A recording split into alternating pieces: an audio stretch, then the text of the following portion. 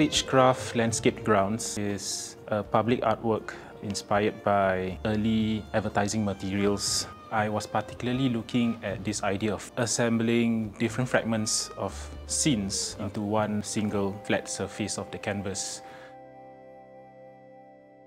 My name is Hilmi Johandi. My work mainly deals with uh, sources uh, that is historical I was interested in pictorial images to uh, old footages that were produced and shot in Singapore or, and around the region.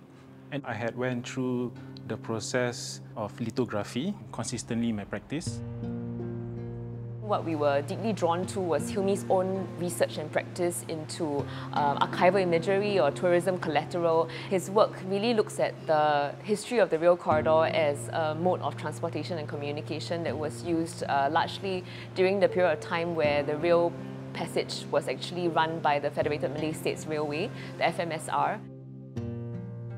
What did this um, public art project allow for you because I think the space is a completely different one. Mm. Again, the parameters are completely expanded. Mm. Um, so what we have is, is a lot more space to work around with, mm. but at the same time, challenges aplenty.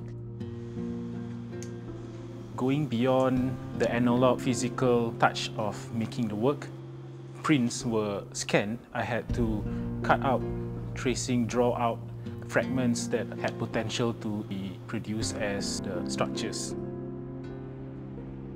One of the reasons why I had multiple prints of the same plate is advantage for me to try uh, different consistencies in the pigmentation of the mm. paint to see how the interaction between gouache or watercolor could sit in with the lithograph prints. How was it important to you when you were thinking about the work? Because I think you also mentioned before about how it, you know, we spend a lot of time on site trying to position the structures, hmm. position mm. how they would be apprehended. After being at the location for a while, I noticed how passerbys or interact with the space. Mm. I noticed there were trails along the grass patch. Yeah. So I too acknowledge that trail as a form of experiencing the work from one point mm. as passerbys or people walking from that um, trail could also experience the work in a different manner. So while conventionally you will see these stagecrafts like exist on stage from maybe the stalls of the mm. theatre, what you've done is that you've just invited viewers to go up close which is actually a very unique experience in terms of setting up, you know, this scene and this environment for viewers to encounter your work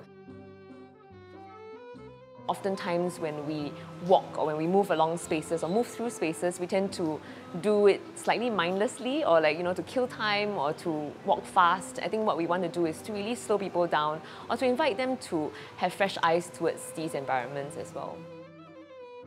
A space that is quite plain and wide open is to deal with this potential of engaging with multiple perspectives mm. when encountering the work. So what's front and what's back? This conversation between the depth of space, the pictorial qualities of image making, midground, background, and uh, foreground.